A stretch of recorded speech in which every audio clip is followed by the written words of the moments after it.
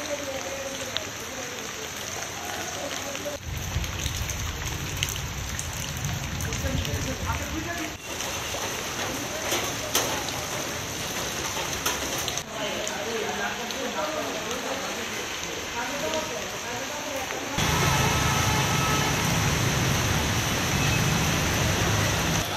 জল ভাঙ্গা আইতে লাগতে গাড়ি আইতে পারে না বহুত গাড়ি নষ্ট হয়ে গেছে